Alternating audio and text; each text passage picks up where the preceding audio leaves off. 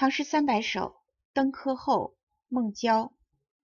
昔日龌龊不足夸，今朝放荡思无涯。春风得意马蹄疾，一日看尽长安花。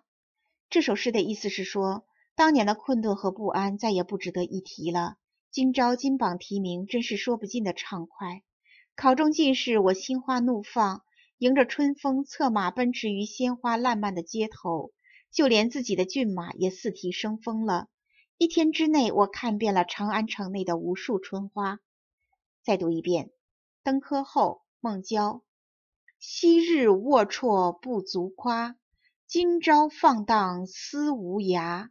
春风得意马蹄疾，一日看尽长安花。